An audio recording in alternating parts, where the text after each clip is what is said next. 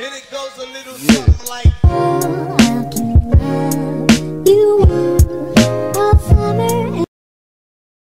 Who shot that arrow in your throat? Who missed the crimson apple?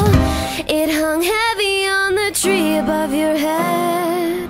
This chaos, this calamity, this garden once was perfect. Give your immortality. to me.